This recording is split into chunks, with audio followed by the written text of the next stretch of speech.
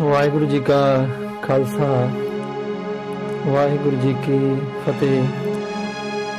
ਸਤ ਸੰਗਤ ਜੀ, ਹੁਣ ਸ਼ਬਦ ਹੈ ਜੀ, ਮਿੱਠ ਬੋਲੜਾ ਜੀ, ਹਰ ਸੱਜਣ ਸੁਆਮੀ ਮੋਰਾ। ਸੋ ਇਸ ਸ਼ਬਦ ਦਾ ਗਾਇਨ ਕੀਤਾ ਹੈ ਭਾਈ ਰਵਿੰਦਰ ਸਿੰਘ ਜੀ, ਹਜੂਰੀ ਰਾਗੀ ਦਰਬਾਰ ਸਾਹਿਬ, ਤਾਲ ਕੈਰਵਾ 8 ਮਾਤਰਾ। ਤੋ ਅਸੀਂ ਇਸ ਨੂੰ ਪਹਿਲੇ ਮੇਲ ਸਕੇਲ ਤੇ ਦੇਖਾਂਗੇ ਇਸ ਟਿਊਟੋਰੀਅਲ ਨੂੰ। ਫਿਰ ਕੁਝ ਮਿੰਟਾਂ ਬਾਅਦ ਫੀਮੇਲ ਸਕੇਲ ਤੇ ਯਾਨੀ ਬੀਬੀਆਂ ਦੇ ਸਕੇਲ ਤੇ ਇਹ ਟਿਊਟੋਰੀਅਲ ਹੋਏਗਾ। ਤਾਂ ਉਸ ਦਾ ਟਾਈਮ ਉੱਪਰ ਵੀਡੀਓ ਤੇ ਆਪ ਦੇਖ ਸਕਦੇ ਹੋ। ਕਿੰਨੇ ਮਿੰਟ ਬਾਅਦ ਸ਼ੁਰੂ ਹੋਏਗਾ। ਤਾਂ ਉਸ ਹਿਸਾਬ ਨਾਲ ਤੋ ਆਓ ਕਰੋ ਕਿਰਪਾ, ਸਾਧ ਸੰਗਤ ਜੀ ਦਿਓ ਆ ਗਿਆ ਤੇ ਅਸੀਂ ਇਸ ਨੂੰ ਪਹਿਲੇ ਛੋਟੇ ਛੋਟੇ ਭਾਗ ਵਿੱਚ ਗਾਇਨ ਕਰਾਂਗੇ। ਫਿਰ ਸੁਰਾਂ ਦੇਖਾਂਗੇ ਹੌਲੀ ਹੌਲੀ ਤੇ ਆਓ ਕਰੋ ਕਿ ਪਾਸਾ ਸਮਝ ਦਿਓ ਆਗੇ ਮਿੱਠ ਬੋਲੜਾ ਜੀ ਮਿੱਠ ਬੋਲੜਾ ਜੀ ਪਹਿਲੇ ਇਤਨਾ ਦੇਖਦੇ हैं। ਮਿੱਠ ਬੋਲੜਾ ਬੋਲੜਾ ਮਿੱਠ ਬੋਲੜਾ ਜੀ ਮਿੱਠ ਬੋਲੜਾ ਜੀ ਹਰ ਸਜਣ ਸੁਆਮੀ ਮੋਰਾ ਮੋਰਾ। ਹਰ ਸਜਣ ਸੁਆਮੀ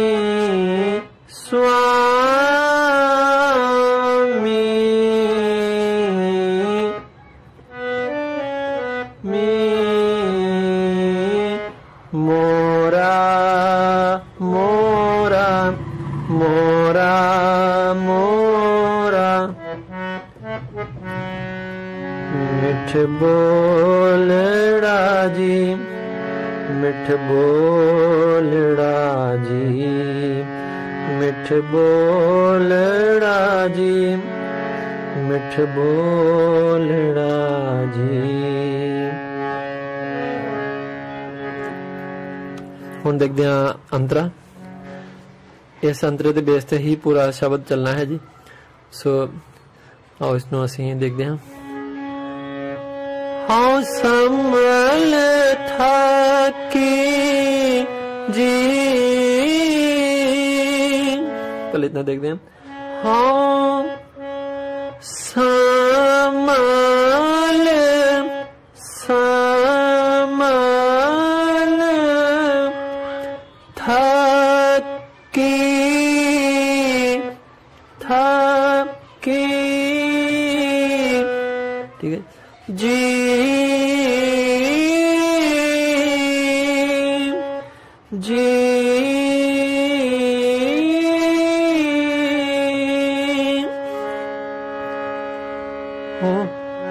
ਕਦੇ ਨਾ ਬੋਲੇ ਕੋਰਾ ਕੋਰਾ।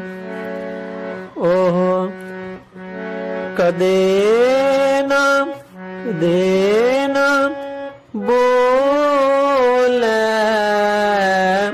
ਬੋਲੇ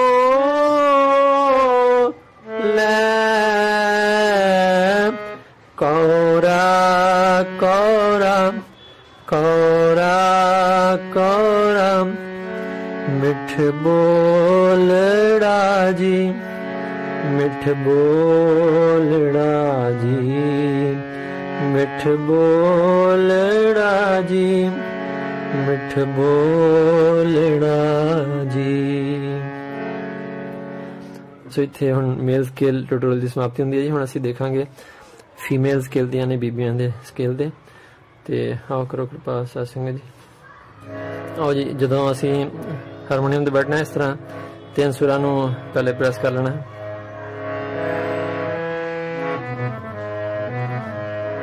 ਠੀਕ ਹੈ ਜੀ ਮਿੱਠ ਬੋਲੜਾ ਜੀ ਮਿੱਠ ਬੋਲੜਾ ਜੀ ਠੀਕ ਹੈ ਪਹਿਲੇ ਇਤਨਾ ਦੇਖਦੇ ਹਾਂ ਮਿੱਠ ਬੋਲੜਾ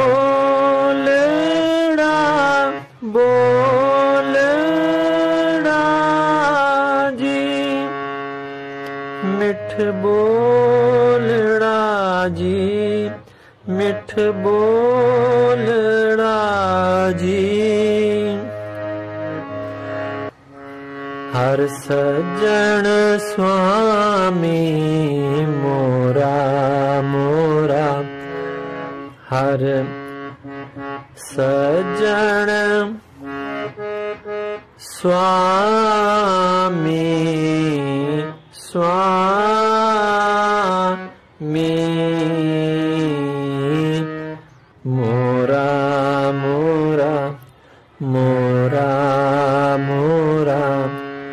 ਮਿੱਠ ਬੋਲੜਾ ਜੀ ਮਿੱਠ ਬੋਲੜਾ ਜੀ ਹੁਣ ਅੱਗੇ ਅੰਤਰਾ ਦੇਖਦੇ ਹਾਂ।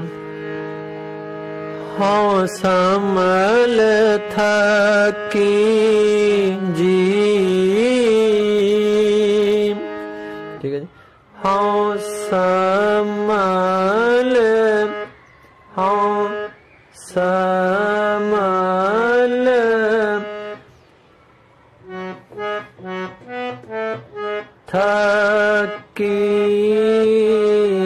ਥਕੀ ਜੀ ਜੀ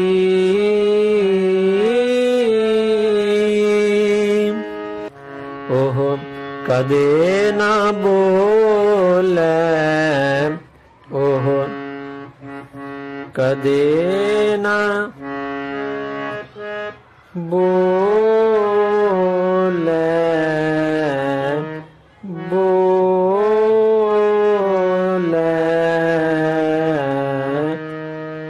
ਕੋਰਾ ਕੋਰਾ ਕੋਰਾ ਕੋਰਾ ਮਿੱਠ ਬੋਲਣਾ ਜੀ ਮਿੱਠ ਬੋਲੜਾ ਜੀ ਮਿੱਠ ਬੋਲੜਾ ਜੀ ਮਿੱਠ ਬੋਲੜਾ ਜੀ ਸੋ ਇੱਥੇ ਟਿਊਟੋਰੀਅਲ ਦੀ ਸਮਾਪਤੀ ਹੁੰਦੀ ਹੈ ਜੀ ਸੋ, ਆਪ ਸਭ ਸੰਗਤ ਦਾ ਕੋਟੀ ਕੋਟ ਧੰਨਵਾਦ ਹੈ ਜੀ। ਜੋ ਇਸ ਚੈਨਲ ਨੂੰ ਸਪੋਰਟ ਕਰ ਰਹੇ ਹੋ ਸਬਸਕ੍ਰਾਈਬ ਕਰ ਰਹੇ ਹੋ ਲਾਈਕਸ ਕਰ ਰਹੇ ਹੋ। ਅਤੇ ਸਾਧ ਸੰਗਤ ਜੀ, ਆਪ ਸਭ ਦੇ ਚਰਨਾਂ ਵਿੱਚ ਹਰ ਵਾਰੀ ਅਰਦਾਸ ਬੇਨਤੀ ਕਰੀਦੀ ਹੈ ਕਿ ਆਪ ਜਿੰਨਾ ਹੋ ਸਕੇ ਇਸ ਵੀਡੀਓ ਨੂੰ, ਚਾਹੇ ਇੱਕ ਹੀ ਗੁਰੂ ਪਿਆਰੇ ਨੂੰ ਆਪ ਫਾਰਵਰਡ ਕਰੋ, ਚਾਹੇ ਜਿੰਨਾ ਹੋ ਸਕੇ ਵੈਸੇ ਤਾਂ ਵੱਧ ਤੋਂ ਵੱਧ ਹੋ ਜਾਏ ਤਾਂ ਬਹੁਤ ਅੱਛੀ ਗੱਲ ਹੈ। ਕਿਉਂਕਿ ਇਸ ਵਿੱਚ ਆਪ ਦਾ ਹੀ ਲਾਭ ਹੈ। ਕਿਉਂਕਿ ਭਾਈ ਗੁਰਦਾਸ ਜੀ ਨੇ ਲਿਖਿਆ ਹੈ ਕਿ ਇੱਕ ਸ਼ਬਦ ਸਿਖਾਏ ਦਾ ਜਿਹੜਾ ਫਲ ਹੈ ਉਹ ਸੱਤ ਸੋਨੇ ਦੇ ਮੰਦਰਾਂ ਦੇ ਬਰਾਬਰ ਧਨ ਆਪ ਦੇ ਖਾਤੇ ਵਿੱਚ ਆ ਜਾਂਦਾ ਹੈ। ਸੱਤ ਸੋਨੇ ਦੇ ਮੰਦਰ ਹੀ ਸਮਝ ਲਓ ਆਪ ਦੇ ਖਾਤੇ ਵਿੱਚ ਹਨ।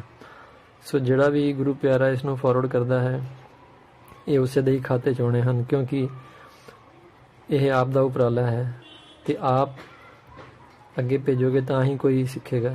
ਤੋ ਬਾਕੀ ਜੋ ਦਾਸ ਦੇ ਵੀ ਚੋਲੀ ਵਿੱਚ ਪਰਮੇਸ਼ਰ ਨੇ ਜੋ ਸੋਨੇ ਦੇ ਮੰਦਰ ਪਾਏ ਹਨ, ਜੋ ਵੀ ਕਿਰਪਾ ਨਾਲ ਮਹਾਰਾਜ ਦੀ ਪਰਮੇਸ਼ਰ ਜਾਣਦਾ ਹੈ।